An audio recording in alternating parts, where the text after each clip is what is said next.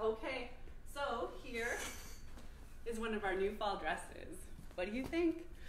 Oh, I love it. It's so like loose and airy, and the print is so adorable. I feel like I could definitely wear this to, um, you know, wine tasting, a fall wedding would be really fun. Wear it to work. Um, I would layer it for sure with like a cardigan. I'm not sure how some of our sweater coats would work, but maybe something like, um, oh yeah, you could totally layer it with like one of our suede coats. It would be really cute together.